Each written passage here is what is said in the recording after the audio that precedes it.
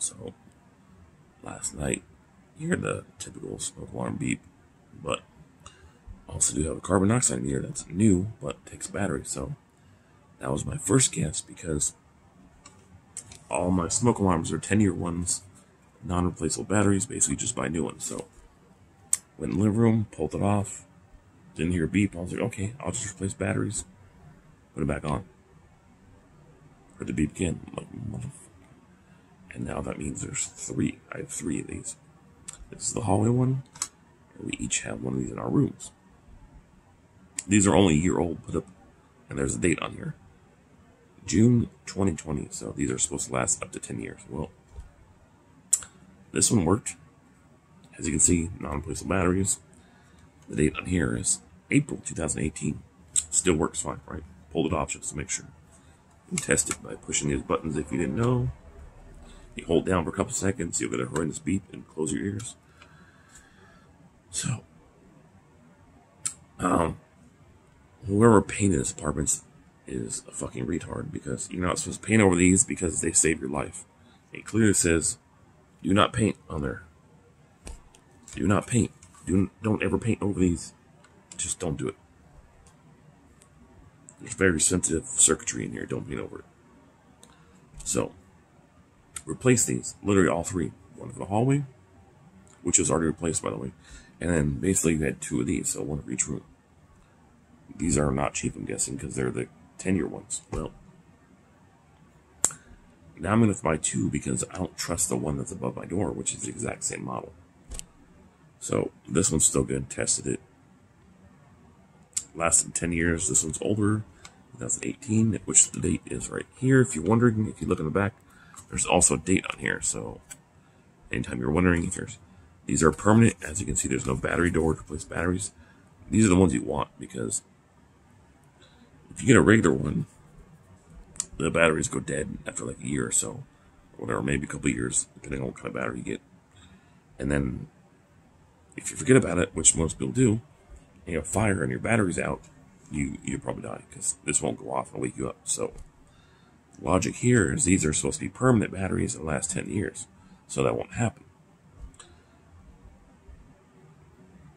So basically, you can check the date and replace it, but if one happens to fail and you need to turn it off, as you can see, there's no way to turn these off. You basically have to, um, it says test silence.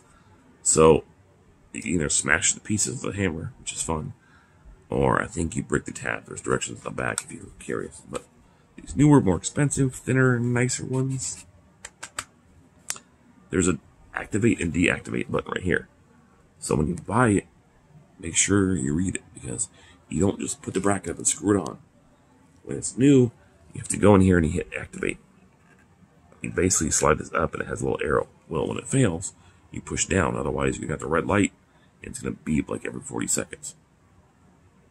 So, broken. Just push the tab down, check the date, good to go.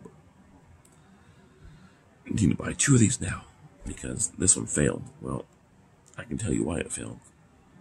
And uh, if you look very closely, I don't know if I'll pick it up, but there's some staining on here.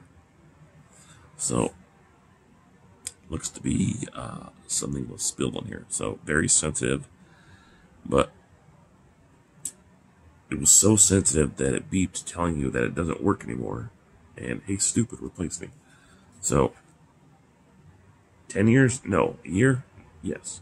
But the fact that, like, they're so sensitive that even you probably can't see it. Just a little tiny bit of standing on there. It'll beep until you replace it. So, I don't know, moisture got in there or something, but you can tell the paper's all messed up too. I'll, I'll, I'll film a separate video on the other side. But it's no longer good because of that. So, considering the same brackets that they're ready, I'll just probably order these on Amazon or Walmart. And I'll order a couple because that one probably has the same issue, maybe. I don't trust them anymore if they got damp or something. So, First Alert is a good brand. They make fire extinguishers. So, this one's older. Newer one looks nicer. You can actually deactivate these really easy. If I push it up, watch, I'll show you. It's gonna be loud, but me put my finger over here. So, as you can see, no red light. It's not beeping. Uh, if I activate it, it's gonna tell me it's broken and basically beep. So, red light, as you can see, now it's gonna beep. If you hear these things beep like every minute, that means they're bad to replace them. If you have the old ones that take AA batteries, throw those away and get these 10 year ones.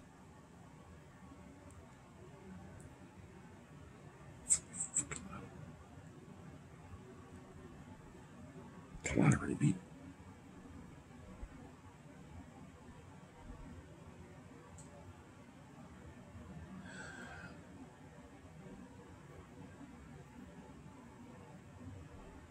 Course, now it's not beeping.